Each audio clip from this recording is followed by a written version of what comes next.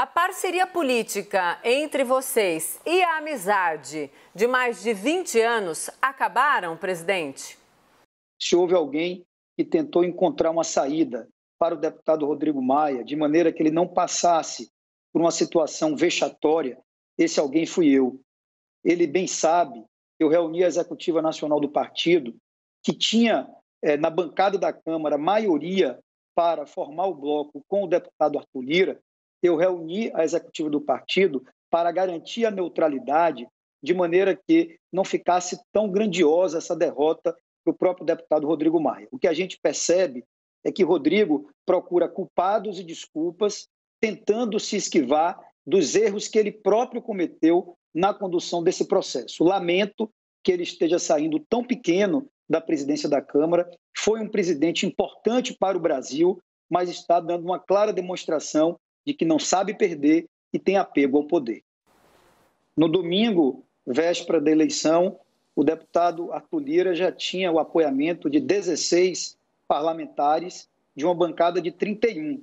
Ainda assim, porque três deputados da Bahia, que tem uma bancada de cinco, estavam dispostos a assinar a lista do deputado Baleia Rossi.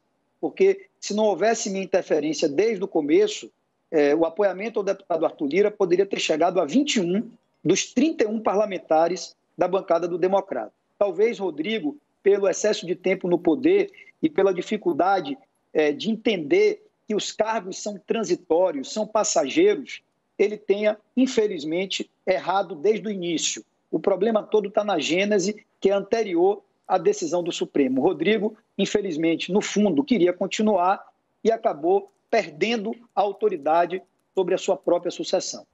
E teve mais reação. O governador de Goiás, Ronaldo Caiado, foi às redes sociais. Vamos ver o que ele disse? Vou aqui ler na íntegra o que o governador publicou. O deputado Rodrigo Maia, infelizmente, foi acometido por uma síndrome que atinge com muita frequência as pessoas que não aceitam deixar o poder síndrome da ansiedade de poder.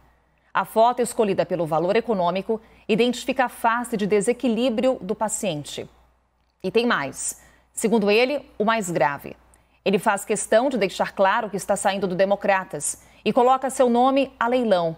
A sua entrevista não deve ser considerada pela classe política porque é indicadora de internação hospitalar. Rodrigo tentou furar a Constituição e não tinha trabalhado outro candidato. Com a negativa do STF, tentou um movimento desesperado de imposição, sem qualquer unidade e coerência.